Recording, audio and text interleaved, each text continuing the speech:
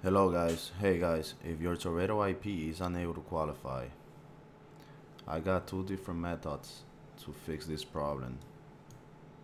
So I've been to the Microsoft website and uh, I have tried everything from the link they give you over here that, that supposedly you need to do a few stuff to, to be able to fix it and stuff like that but none of this work guys. None of this work. I already tried everything I have a Asus motherboard and uh, there has some features here for uh, how to fix the Asus motherboard problem but none of these work for me. So uh, the first method is if you uh, go to services you type services over here on your computer. So type services this will open.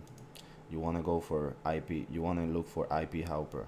Just type in I and uh, it'll automatically take you to the to the I. So if you type I, IP helper. So sometimes this program is not working, like it's not on. So if that happens, you see right now mine says starts because the program's not on. That's why my Teredo is unable to qualify. So if this happened to you, you're gonna press start. You're gonna come here, you're gonna press start if it gives you a problem here sometimes it will tell you like oh it has a problem you're gonna go to properties you're gonna go to dependencies. This program has like six dependencies that it depends on.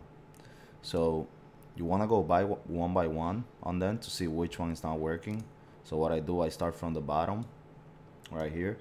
Let's say the WinHTTP web proxy auto discovery. So you're gonna go here and you're gonna type the first letter let's see W and uh, it's gonna take you to the W so you're gonna look for WinHTTP so just go down till you see it. There you go. WinHTTP web proxy. So you're gonna click on properties on that. Right click properties. And uh, over here it might be disabled it might be automatic. You can either do automatic or automatic delay start. So if you put it on automatic delay start it will start. Every time your computer starts this this will automatically start with your computer so uh, you're gonna click on that you're gonna click uh, start and then you're gonna click OK.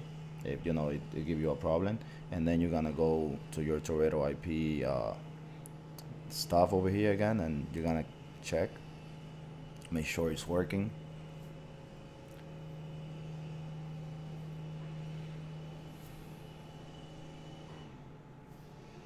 Oh so like you guys see right now my uh my Teredo is was able to qualify so everything was is working fine now. So uh, if that was the case that this didn't work you guys will have to go to uh, check for the other one and then you know the other one and then the other one till this qualifies.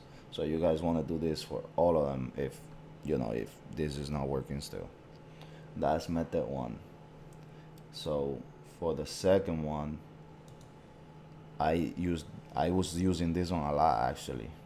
Like at first before I found this method right here this I found in foreign thank God man. It, it helped me a lot but some of my friends are still unable to uh, make this work with this. So this uh, uh, this program right here uh, actually it's it fix all this by itself. You just uh, double click it and install install it. It's like a little update that it does on your computer so it's like a Windows update so you install this and this is also gonna be able to help you fix this. And it's super super super good. I try to like I use it a lot. And uh, those are the two options guys. So I'm gonna leave this up right here in the description this program. And uh, yeah you guys install it and, and, and, let me know if it works for you. And thank you for watching this video guy guys. Uh, make sure to subscribe and write me a message if anything uh, I'll do whatever I can to help you guys. Thank you very much for watching this video and have a great day guys